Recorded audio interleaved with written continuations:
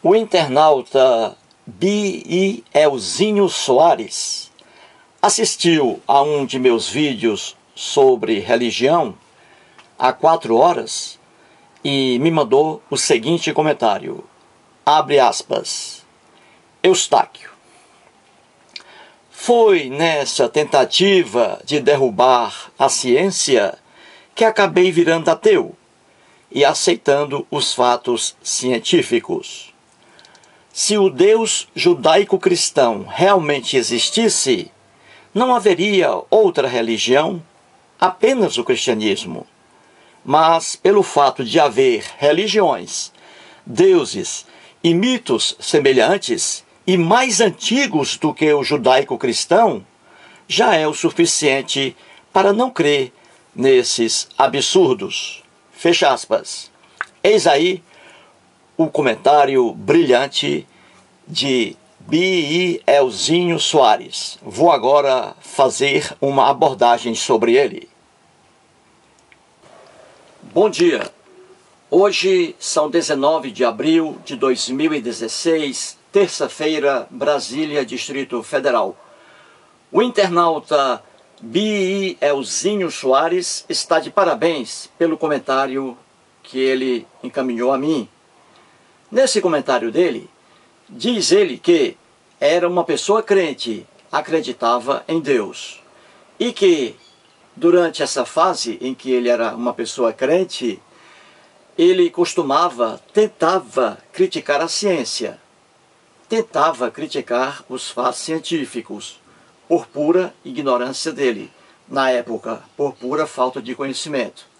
Até que, de tanto tentar criticar a ciência, o Bielzinho acabou caindo nos braços da ciência, ou seja, deixou a crença religiosa de lado, deixou essa fantasia religiosa de lado, graças à ciência.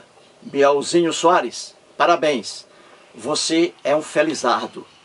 Saiu do mundo da ignorância religiosa, do mundo da fantasia religiosa Pois bem, a ciência é isso aí, Bielzinho. Ciência é estudo, experimentação, análise, comprovação, etc.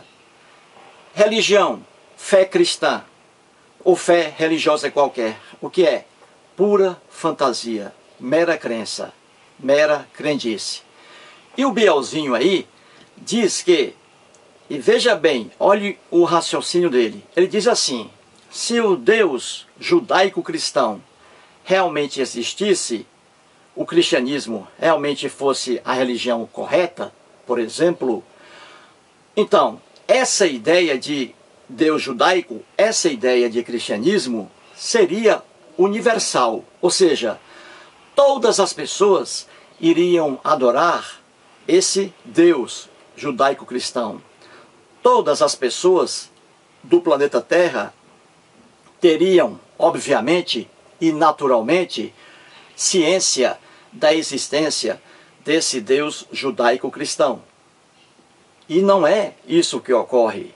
O Bielzinho aí chegou a essa a esse grau de intelectualidade. Ele raciocinou. Repito, se o Deus judaico-cristão fosse o único Deus existente de fato, então todas as pessoas do mundo, do planeta Terra, teriam naturalmente ciência desse Deus. E não é o que acontece. Como diz o, o Bielzinho Soares, existem milhares de religiões, existem milhares de deuses, e deuses, como ele bem o diz, mais antigos que o Deus judaico-cristão que é o Deus da Bíblia. Então, o, o povo, o, o ser humano, a humanidade cria deuses, cria deuses a rodo, cria religiões a rodo. Então, os deuses são produto da imaginação humana, é o homem que cria deuses. Como o homem é um ser criativo, e como o homem se difere do, de outro homem de outra cultura, de outra sociedade, então eles vão imaginar criaturas sobrenaturais diferentes. E é por isso que temos deuses diferentes. Por exemplo, há dois mil anos, quando surgiu o cristianismo, há dois mil anos, lá na Palestina, havia seres humanos aqui no Brasil, nesta terra onde hoje, nesta terra que hoje chamamos de Brasil, quando havia Jesus, que nada tem a ver com Cristo, caminhava lá pela Palestina, no, mesma, no mesmo tempo, na mesma época, havia índios aqui no Brasil. E os índios não tinham conhecimento algum de Jesus algum, de Palestina alguma. Por quê? Porque não existe esse Deus universal que seja do conhecimento de todos. Não, é o homem que cria seus deuses e cria deuses diferentes. É a mesma coisa da língua. O homem cria língua, cria línguas, línguas diferentes. O homem cria vestuário, vestuário diferente. O homem cria inúmeros costumes e costumes diferentes. Então, o Bielzinho Soares deu uma teve aí uma, uma chuva de luz maravilhosa, porque não há um Deus universal, de conhecimento de todos, adorado por todos. Não. Os deuses são vários, como as religiões são várias, porque depende da criatividade humana.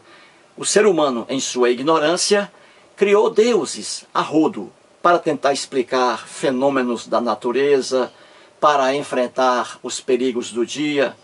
Aí foi que o homem recorreu aos deuses, aos seres imaginários aí espirituais. O Bielzinho Soares tem toda a razão. Ora, veja aqui, o cristianismo, vamos aqui, sobre Jesus, o cristianismo. O cristianismo nasceu ontem na história do homem. O cristianismo já veio tarde, nasceu ontem na história do homem há dois mil anos. Dois mil anos não é nada. Dois mil anos, esse período, não é nada na história do homem. O homem está na Terra há três milhões de anos. Três milhões de anos. A história é dividida em pré-história e história. O que divide a pré-história da história é o surgimento da escrita. O homem evolui devagarzinho. O homem necessita de muito tempo para evoluir. Então, você tem a pré-história e a história, e no meio o surgimento da escrita. Antes da escrita, quando o homem ainda nem sequer havia descoberto a escrita, temos a pré-história, o período mais longo da existência humana. A pré-história. E a história a partir do surgimento da escrita, que foi ontem praticamente por volta de 4 mil anos, 5 mil anos aí, antes da Era Comum. O homem ali é que descobriu a escrita há 4 mil, 5 mil anos. Isso não é nada na história do homem, lá na pré-história. E veja, antes de 2 mil anos, vamos colocar 3 mil anos aí. Há 3 mil anos não havia a religião cristã, não havia o Deus naquela concepção cristã, Jesus, não havia, porque nem Jesus havia nascido. Então, naquela época, dali para trás, o mundo todinho ficou sem ter noção de Jesus, porque não havia Jesus algum. Então, o cristianismo já surgiu tarde, tardiamente, apenas há dois mil anos. E o homem tem uma história de 3 milhões de anos na face da terra. Veja como aqui o homem evolui. A ignorância é, do homem é que o levou a criar deuses. Vamos pegar aqui rapidamente a pré-história, antes do aparecimento da escrita.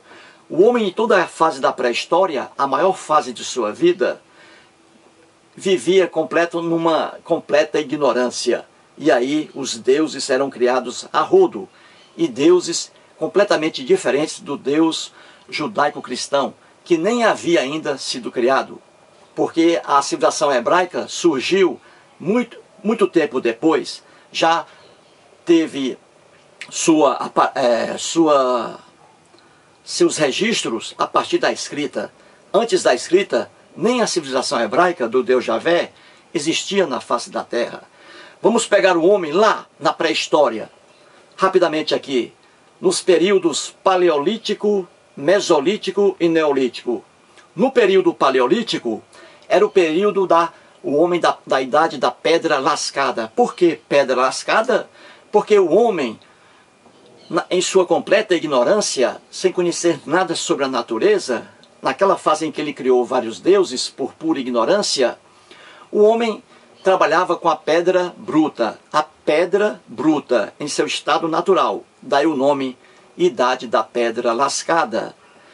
Aí o homem começou a evoluir, aí passou para o período mesolítico, depois evoluiu mais e passou para o período neolítico, que é o período do homem da idade da pedra da pedra polida. Ali o homem já começou a fazer é, peças artesanais utilizando a pedra.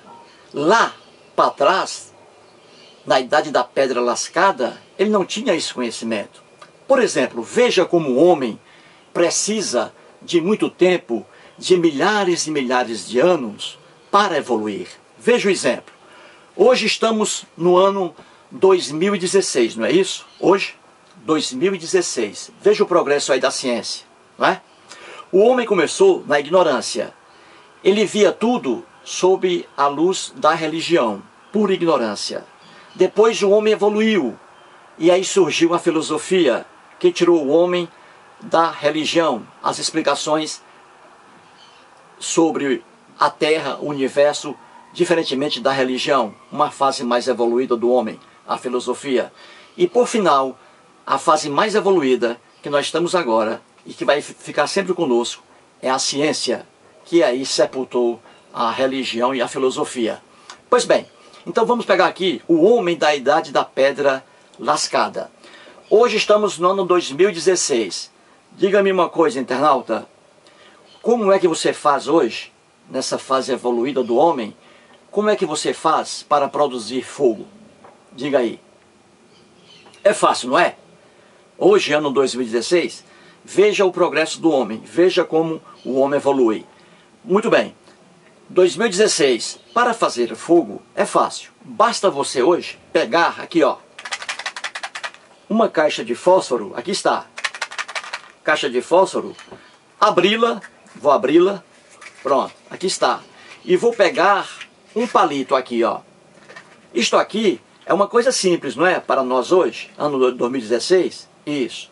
Mas para o homem da idade da pedra lascada, que interpretava tudo sob a luz da religião, deuses, na sua ignorância, para o homem da idade da pedra lascada, era impossível ele fazer isso aqui, porque ele não tinha conhecimento para isso. Como produzir fogo? Não. O homem, em sua quase totalidade, passou o tempo sem saber fazer o fogo. Só veio a criar fogo o homem na idade da pedra, no, na, no período mesolítico, entre a idade da pedra lascada e a idade da pedra polida. Só ali, depois de milhares e milhares de anos, é que o homem aprendeu a fazer fogo. Antes, ele comia tudo de forma cru. Carne crua. O homem comia carne crua porque não havia descoberto o fogo. Porque isso não é fácil. Para nós hoje, sim, mas para o homem da idade da pedra lascada, não. Muito bem. Então, no período mesolítico, aquele período intermediário, ah, voltando aqui, olha como é fácil fazer o fogo, ó. Peguei aqui, ó, só isso, ó. Olha aí. Pronto, aqui está o fogo, ó. É? Olha aí. Pronto. Foi fácil. Mas isso era impossível para o homem da idade da pedra lascada. Por quê? Porque o homem precisa de anos e anos para evoluir. Muito bem. Como foi que o homem da pedra lascada, no período mesolítico, aprendeu a fazer fogo? Como ele fazia fogo? Já que ele só mexia com pedras, pedras e mais pedras, o homem da caverna. Inicialmente, na fase inicial, para fazer fogo, ele pegou duas pedras, pegava duas pedras e ficava esfregando com força uma na outra. E ali saíam faíscas. E o homem fazia o que da idade da pedra lascada? Pegava ali umas palhas secas, deixava aqui ao lado dele e começava a esfregar as duas pedras bem próximas, as palhas secas. E com aquela faísca que pegava na palha, surgia o fogo. Agora veja a dificuldade, né? Você ficar esfregando uma pedra na outra. Veja o esforço que o homem da, da idade da pedra lascada tinha, coitado. Porque ele não tinha a capacidade de fazer o fósforo como nós temos hoje. Porque isso aí precisa de tempo para evoluir. É a prova científica de que o homem precisa de tempo pra, para evoluir. Pois bem, depois, numa fase mais adiantada, o homem melhorou. Desculpe-me, melhorou a fazer o fogo. Foi mais fácil para ele. Como? Ele já pegava um graveto, um pedaço de madeira. Ele pegava na natureza, fazia né, um gravetozinho. Aí ficava no orifício de uma madeira, esfregando assim, ó. Nesse movimento. Com aquela fricção, a madeira esquentava. E ali o homem colocava naquele orifício onde o pau rodava, ele colocava ali palhas secas. E ia assim, ó, rodando o graveto, até pelo aquecimento as palhas produzirem fogo. Então veja que o homem, para descobrir, descobrir o fogo, exigiu que exigiu que ele se protraísse no tempo, de que exigiu que ele é, ficasse muitos, muitos, muitos anos, milhares de anos, em busca, em busca de um conhecimento melhor para a satisfação de suas necessidades. E aí o homem procurou, lutou para isso e foi evoluindo, evoluindo, evoluindo até chegar a isto aqui hoje, ó. A forma mais fácil de fazer fogo. Pois bem, o Bielzinho aí Soares está de, está de parabéns, porque ele viu aí que se o cristianismo fosse a religião correta, todos os homens do planeta Terra teriam conhecimento do cristianismo. Isso de forma natural, teriam conhecimento do cristianismo. Mas não, de forma alguma, porque houve e há milhares e milhares de religiões e milhares e milhares de deuses. Isso prova o quê? Que deuses existem aos milhares apenas na imaginação do ser humano. Muito obrigado aí. Parabéns, Bielzinho Soares, por seu artigo aí, ó, seu comentário maravilhoso. Muito bonito. Parabéns.